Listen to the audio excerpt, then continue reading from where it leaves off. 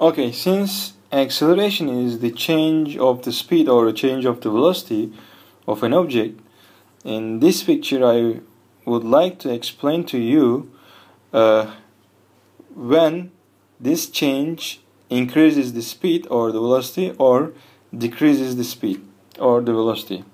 So let's look at the first picture and we have a car and it's going in the positive x direction. As you see in here we have this line the coordinate system for our one-dimensional motion. And its speed or velocity is toward right and this uh, green arrow uh, shows its direction and then, then the value. Well the value is uh, we don't know but the length of this uh, arrow can be uh, Uh, can be a, a, measure of the uh, uh, value of the velocity in this direction. And here this purple arrow shows the direction of the acceleration. And again this direction for the acceleration is toward the positive axis the positive x-axis or it has the same direction with that of velocity.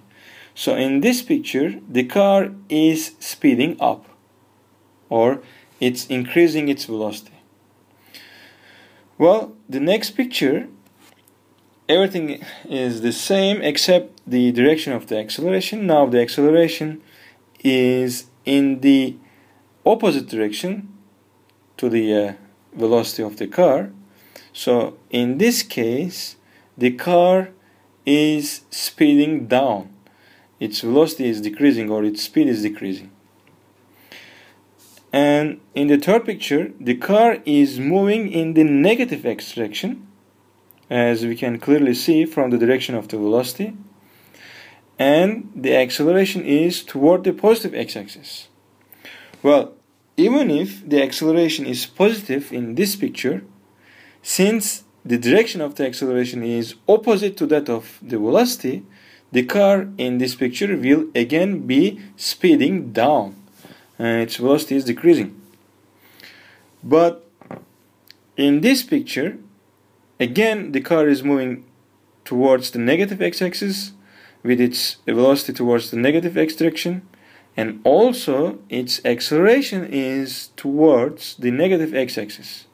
So since the acceleration and the velocity are in the same direction, the car is speeding up in the negative x direction. So its its speed is increasing or the velocity is increasing.